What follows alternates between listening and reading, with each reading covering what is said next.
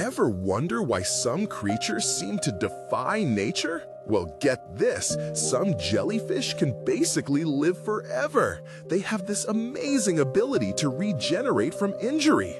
If harmed, they can revert to a tiny polyp stage. Imagine a fully grown animal turning back into a baby? This process is called transdifferentiation. It is super rare. Their cells completely change identity to rebuild.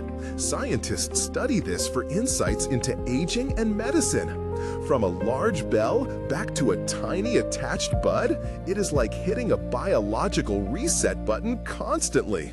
This incredible trick helps them survive tough conditions. It shows us life is far more adaptable than we thought. Future research could unlock regenerative secrets for us. Truly one of nature's astounding biological phenomena. Nature is full of surprises. Share your favorite fact below and hit subscribe for more awesome content.